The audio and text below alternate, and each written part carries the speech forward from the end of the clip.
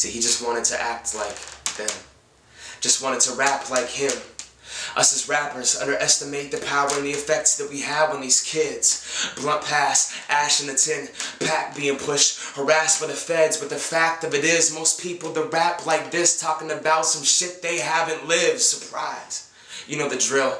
Trapped in a box, decline record sales. Follow the formula, violence, drugs, and sex sells. So we try to sound like someone else. But this is not California, Californication. There's no way to glorify this pavement syrup. Percocet in an eighth a day will leave you broke, depressed, and emotionally vacant.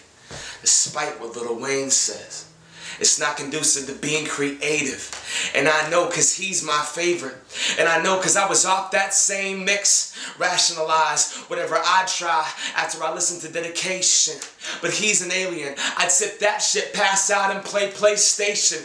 Months later, I'm in the same place. No music made, feeling like a failure. And trust me, it's not dope to be 25 and move back to your parents' basement. I've seen my people's dreams die. I've seen what they can be denied.